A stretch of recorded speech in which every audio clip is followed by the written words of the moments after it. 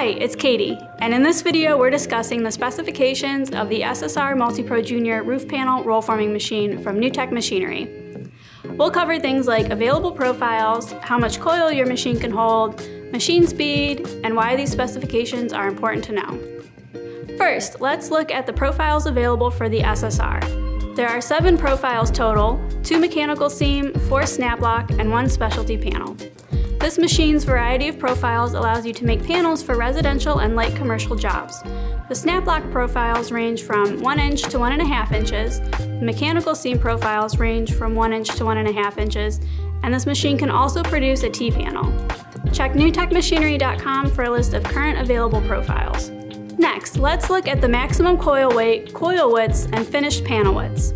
Understanding these numbers will help you purchase the right material dimensions from your supplier for the profile you want to produce. If you have an overhead reel rack on your SSR, it can support up to two 3,000 pound coils for a total weight of 6,000 pounds. It's important to note that the material gets used up when forming the male and female legs of the profile. For example, most panels use between 4 inches and 6 inches of material to create a specific profile, so a 20 inch wide coil would make a 16 inch wide finished panel.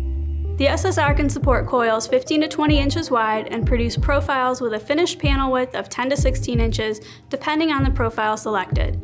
The maximum coil diameter your SSR can hold is 32 inches with an overhead reel rack and 45 inches using the freestanding decoiler. When it comes to types of materials, the SSR can form 28 gauge to 24 gauge painted, galvalume, and coated galvanized steel. NTM recommends 50 KSI maximum for 24 gauge, and 50 KSI is recommended, but 80 KSI is acceptable with adjustments for 28 gauge to 26 gauge steel. You can also run between 0.027 inch and 0.040 inch painted aluminum and 16 to 20 ounce 3 quarter hard copper. You may need to make limited adjustments when switching from material to material. The SSR uses a 1.5 horsepower electric motor and can operate at speeds of approximately 30 feet per minute. The machine's eight polyurethane drive rollers are electrically driven via chain and sprocket. Finally, let's talk about the SSR machine's footprint.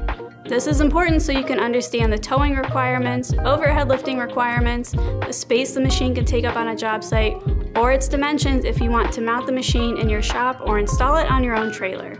Without a trailer, the SSR weighs 1,715 pounds, is 12 feet and 6 inches long, 3 feet and 10 inches wide. This machine is 4 feet 3 inches tall with the overhead reel rack and 1 foot 10 inches tall without the overhead reel rack.